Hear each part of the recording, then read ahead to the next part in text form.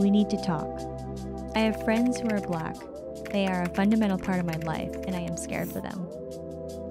A white police officer killed a black man named George Floyd, killed Dreasjon Reed, killed Tony McDade, killed Breonna Taylor, killed Ahmaud Arbery.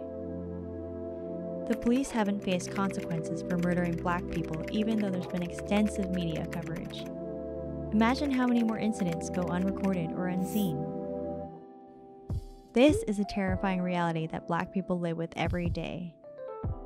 I'm telling you this out of love because I want all of us, including myself, to do better. For the most part, we don't fear that we may die if we're pulled over by the police. This is not the case for our black friends. They are under a constant threat of violence. Their oppression has not ended, it has only changed form. I understand that you're scared about the looting and property destruction, but imagine how hurt you would be to see people express more care for material objects than for the lives of your loved ones. This is why I support Black Lives Matter. I am eternally grateful for the struggles you have endured in a country that has not always been kind to you.